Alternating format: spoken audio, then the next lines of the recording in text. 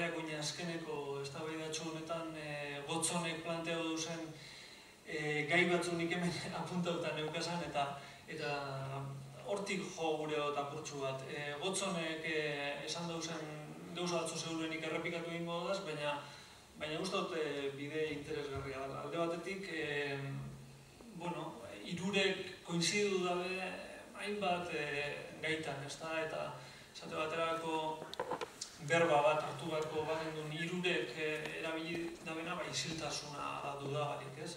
E, Josik aipatu dau e, bere etxeko eta oroar galdakon eta eskolako iziltasuna, e, gotzonek esan dau iziltasunaren literatura aipatu da, ez da, eta, eta guzurraren gainean edazpian dagoen egi hori, eta laurak aipatu dau e, erkiadaren kasua, bazelan e, isilik e, egotea e, erabakitzen dagoen edo, edo, edo bizitzak horretara eroaten dagoen, ez? Isiltasunaren gaia hortxe dau, eta nik uste dut e, gaur egun, ba, bueno, ba, memorian historikoa, o, memoria historikoa e, bueno, ba, puri-puria dagoen gaia, gotzonek etara dagoen beste hitz magiko hori gaur egunekoa, ez? Errelatoa.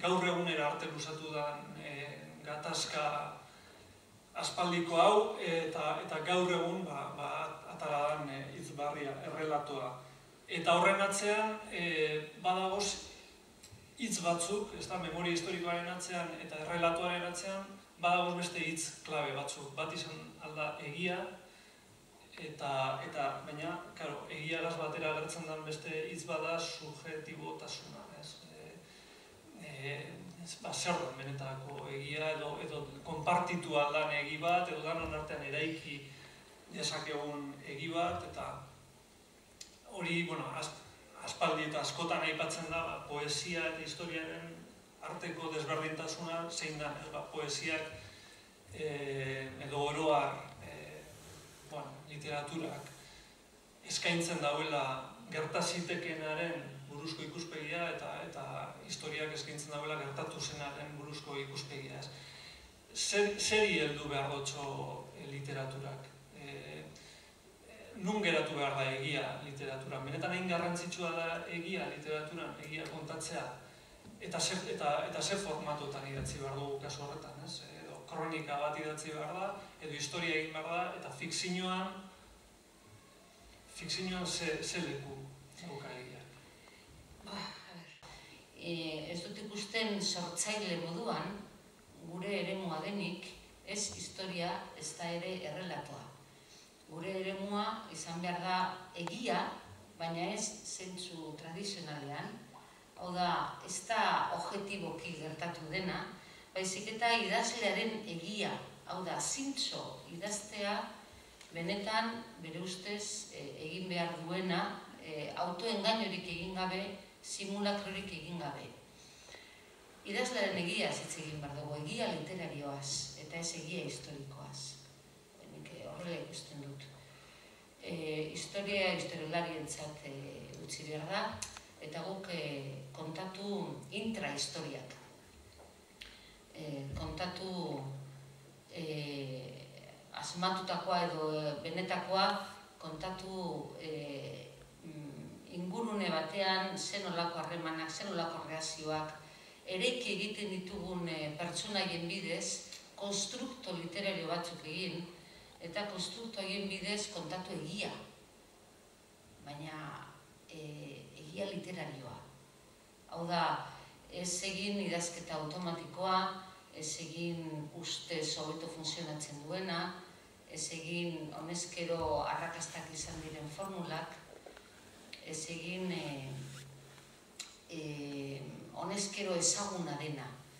Nik uste dut idazle bakoitzak sentitu behar duela beste pertsona bat dela e, aurkitik altzatzen den bakoitzean. Hau da, ez la pertsona bera, aurkian jarri, idazten hasi, eta handik ordu batzutara berri saltzatu, eta izan behar da beste pertsona bat. Berak ere etzekien pertsona bat, ezagutzen ezuen pertsona bat. Hau da, benetan egin lan e, zintzoa, lan egiazkoa bere egia plazaratu duelako bere lan literariaren bidez. Eta ez du zer ikusi handirik, e, ohiko egia tradizionalarekin. Lehenengo eta behin hori ez dalako existitzen. E, kasetaritzen oso ondo irakasten dut irakasleek, objetibitatea ez da existitzen, hori kimera da, o, farazia, hobeto esateko, kimera baino, faltsua da, gezurra da.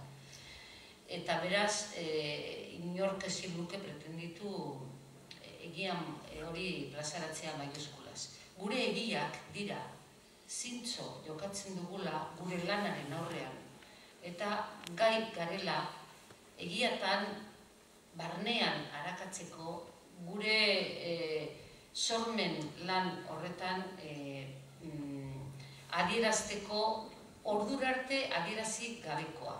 Ordurarte inoiz esan, esan, e, esan izan ez dena. Hau da, egietan sortu egin dugula zerbait. Eta hori da, egia literarioa, nik horrela ikusten dut e, eta historioak sortu, mosaikoak egin, ne?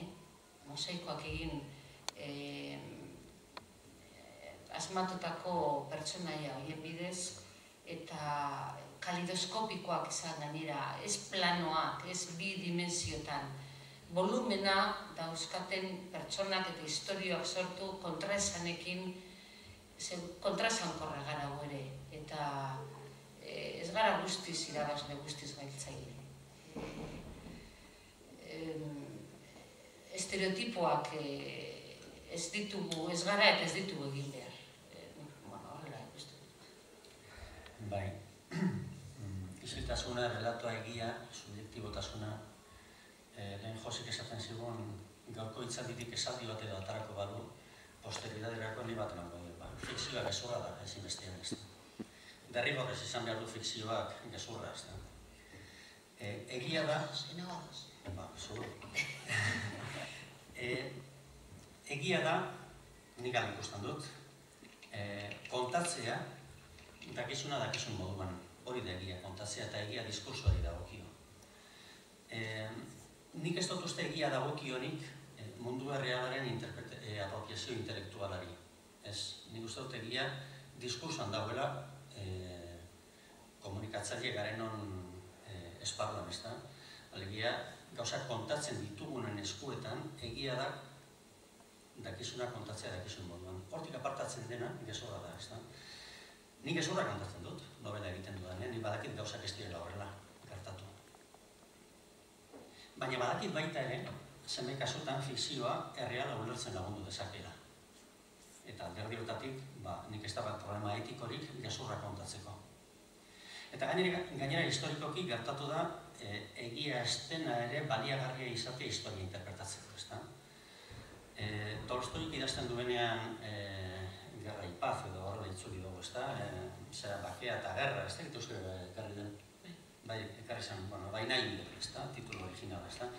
berak idazten du gerra napoleonikoa bukatu eta gara eta nahi urte pasatu eta gero idazten du novela hori, ezta? Novela hori. E, historia fakultatean, morton, libur hori ikasi egiten zen historian, ez literaturan. badakit, beraz, eta hori adibide baino ez da, ez da, fikzioa erreala ilustratzeko baliagarria izan daiteke da, baina baliagarria deneinean hartu behar da fikzioa erreala ilustratzeko baliagarria denean, baina ez egia badako. Gertatzen zen guzen bai kasutan, novelan irakurritakoa sinistu egiten dugula egia badiz bezala. Eta ez, bueno, behintzat, nireak irakurtzeko aukera egiten baldin baduzue, jakin gezurra kontatzen ari naizela. Apropos kontatzen dudala gezurra. Alegia, fikzionatzen dudanean, historia gezurra kontatzen dudala apropos. Zertarako, historia ulertzen laguntzeko, baina nik kontatu gezurra kontatzen dut. Eta ez da gezur moral edo etikoa izan daiteken hori, ez da? E, bueno, Botatzen azorduan esaldi, laurari gustatzen esaldi esaldi bat, ez da? Gezurra derrigorrez da fikzioa, edo fikzioa derrigorrez da e, gezurra. Uste eta gaudela, baina diferente erabiltzen dut gure ditzak, eh? Parkatu dut, segundu txuat, eh? eh, zuk gezurra esaten diozu eta nik horre egia esaten diot. Bai, egia da. Eh, esan edut, fikzioa ez da gezurra. Bakarri da gezurra simulakro bat. egiten ari, baza, egiten ari bazara planta. Orduan bai zabiltz Hori gezurra. falsukeria da, Laura. Eta duko gara itzetan. Sí, sí, Ule ulertzen dut esaten duzuna, baina uste dut gezurra erabiltzea hor ez dela eh, nahaztu egiten dut. Bueno, Salgo, salgo, beto, ez? ez, ez. Eh, a ber, eh, ez duzu kontatzen gezurra. Kon- Kontatzen duzuna ez da errealitatean gertatutakoa, diferentea da. Eh? Baina ez da gezurra.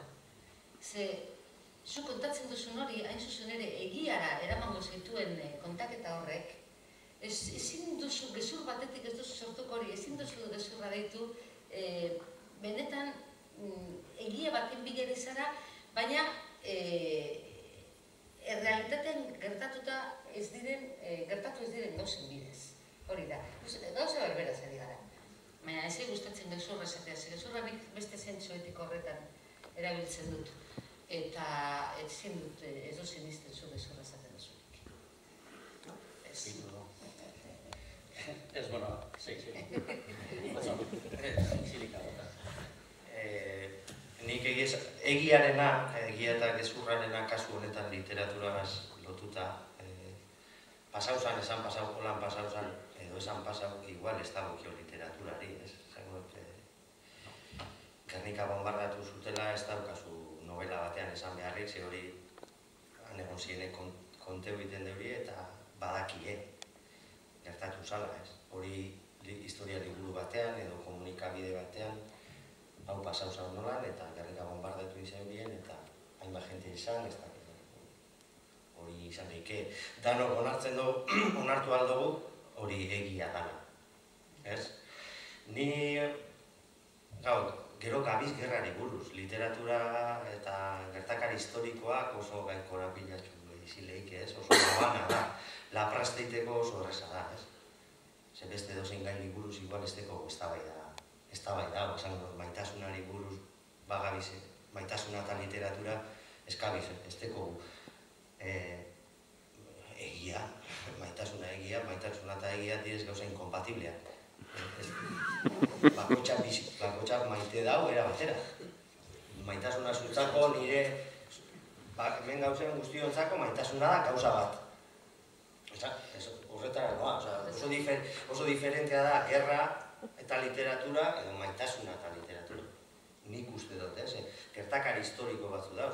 Maitasunari buruz, ezara hasiko maitasunaren historia kontetan, esango dut. Maitasuna sortu zan, noiz sortu zan maitasuna, ez? Diferentea da. Orduen, nik bentze da hor, gai edala, ba, alde batetik zuk esan duzuna, ez?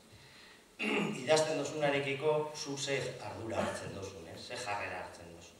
Subjetibitatea, moduen frivolitatea, manikeismoa, mezu politiko bat zabaldutea, idazleak ze jarrera hartzen dagoen, ez? Hori nire ustez gakoa da. Beste gakoa da, nik betzetan dut, e, eta bere izi behar dana, igual, ba, literatura eta historiatik, ez? kontaera historikotik, hi- historiak egiten duen, ez? historialariena, da e, literatura galderak eta kontraesanak agertu behar dituzela. Niri behintzat interesatzen jaten literatura da, e, tenbarik galderak egiten dituzena eta kontraesanak agertzen dituzena, ez da? E, beste literatura oso ur dauzu dinozun moduen, ba, e, manikeismotik. Kalderarik espadau eta idazleak espadotzo irakurleari lehenengo bere buruari, claro, baina irakurleari espadotzo galderarik planteatuten esaten modu hau Holanda, Holanda, Holanda, Holanda, ba hori ez da literatura. Orduan nik ulertzen josik esaten da, bueno, ez da, ez nik zentzu horretan ulertzen dut hori, ez? Baina ulertzen dut nik horri bebai, e, fikzio horri, eskatzen dutzetena da galderak plan, planteatzea eta zalantzak planteatzea, ze novela fikzionatu askok eh, azpian dekiena da oso garbi mezu politiko bat zabaldutea. Eh? Oindala gitxi Josea Zurmendik aurkeztu zeuen unamunari buru, unamunori buruzko eh, liburu bat, bakeak udan, eta unamunore liburua zen eh, La Paz en la Guerra, ez? izenburua, eta bueno, arek egiten da novela bat, baina azurmendik frogatu egiten da, haren novelaren helburua zala, ba, ja, e, mezu politiko bat zabaltzea. Hori za, oza, unamunok egin zeuen fikzioa, mezu politiko bat argi eta garbi zabalduteko, ez da? kaldera itxi, kontrasan itxi da zorrez, bueno, ni pentsetan dut olango gai baten inguruen, hori ez lehenengo idazleak oso, oso konstiente izan behar dara, zelako ardura dekon. Zu publikatzen baduzu gerraren buruzko fikzio bat, ez? Lehenengo eta bat, hau novelaz, eh? Ze poesiak beste libertade, libertade batzuk emoten dutuz, beste askatasun batzuk emoten dutuz, eta igual esan abia, abia puntu ez da, gertakar historiko baten fikzio egitea, espada zu horren aurrean zer sentitzen dozun, ez? Persona bezala horrek zelan eragiten zaituen. Ez, baina bar, esan dut, bihotzetik izakeria, e, horreken negarra eragiten dozun, mine eragiten dozun, posa eragiten dozun, baina fikzio, novela, narratiboa danean, ba, arduri euki behar duzu, ba, konstienti zen basa, zelango arduri da dekozun, ezin duzu edo zer idatzi. Ez? Ez, eh, gezurra esaten duenean, ez da, zer gauza ardura hori, ba, kabutan idazten dugu, uste dut, bestaren konstiente batzuk izango gineke, eta gian harrika inderko euskua, ez da. E, baina, esaten duenean gezurra, kontatzen dudala da, hain zuzen ere, nik dakidana bestera batera kontatzen dudalako. Alegia, norbaitek agian, pentsatzen baldin badu, nire novelatan, nik gezurra esaten dudan hori aurkituko duela testinguru historiaren testinguruan, ez, esan edo novela, dokumentatua esaten dan hori da, ez da legia. Gauzak horrela izan zitezken, baina ez ziren izan. Eta hori da gezurra. Bai? Alegia, novela bat kokatzen baduzu, eta mazortzi garen urtean, Euskal Herrian, gerra maitu danean, giro hori kontatuko duzu, edo bentsatinik horrela egiten dut, ez giro horretako elementuak ekarri egiten ditu novelara. Novela historikoa edo deitzen da horretako bat izan daiteke, baina kontatzen dena ez da gertatu. Gertatu da segundu bat, gertatu da parrafo bat, beste guztia, gezurra da. Eta horretik esaten dut, ezinbestean fikzioa gezurra dela. Ezkerra. Ezke bestela kasetaritza ditzateke.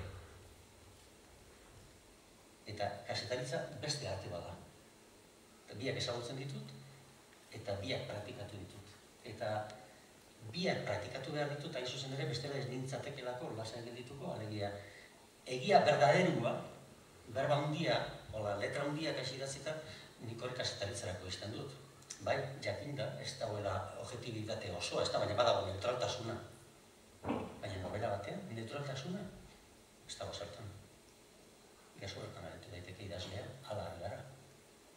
Ega ala naiz. Nik ez dut hitzekin daukagu problema.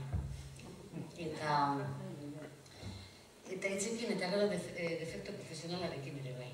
Hau da, e, egiten duzun marra kasetaritza literatura bueno, norberaren alegarria bada jakiteko non dagoen egun bakoitzean gaur honetan nago eta urrengo egunean horretan bade, baina marra hori ere ez da ez da hain, hain gardena eta hain zurruna eta nik ere egin dut kasetaritza eta literatura gauza biak. Eta, eta gainera, ez da kasualidade, literatura ezin dudala egin ordenagailuan eta kasetaritza ezin dute egin eskuz. Eta ez da, ez da kasualitate. Eta gero nire burua psikoanalizatu dut zergatik gertatzen ziren hori. Eta ikusi dut beste tempus bat behar dutela eta beste mekanismo bat. Eta orduan, e, kasetaritza ala beharrez ordenagailun egin behar dut, e, ideien abiadura berean idatzi behar dudalako, harin. Eh?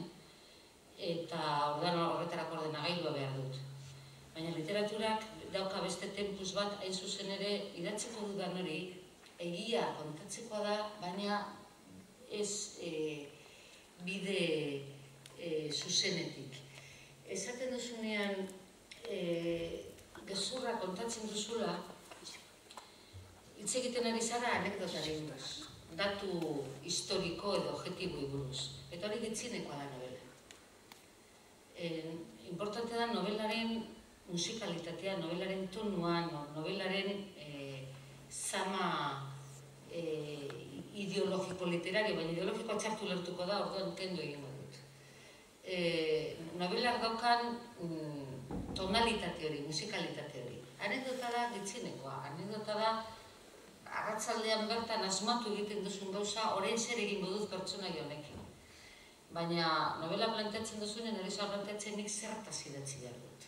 Idatzi behar dut, angustiaz, idatzi behar dut, e, etxipenaz, idatzi behar dut, eta hori da novelaren egia. Gero, anekdotak momentua momentukoak asmatzen dituzu martxan, eta bai, hor ez bezurra, nik ez dut esaten horrela, esaten dut fikzioa, asmakizuna, e, hartu utzi, erabili, e, manipulatu egiten duzun datua. Eta horri deitzen duzu bezurra. Eta nik horri deitzen diot, anekdota, mm, guztiz prescindiblea, baina etzeik inporta. E, azkenean, novelan dagoena da, e, musikalitate bat, novela, liburua itzi, eta hau zapaian gelditzen zaizun zapore hori. Eta hori da novelaren egia. Eta hori da lortzeko zaila. Eta hori da lehenengo lerroa idazten duzunetik bilatu behar duzuna. Eta egi horren bila abiatzen gara, ba, bidezit horretatik, anedota prescindiblen bidez, e, dakagoen arazo bakarra da, modu diferentetan ditzen digula. Zukorrek ezurra ditzen duzu eta ditzen diot, ba, bueno, novelarako elementuak. Gitzien inporta zaizkidanak, etengabe improvisatzen ditudanak.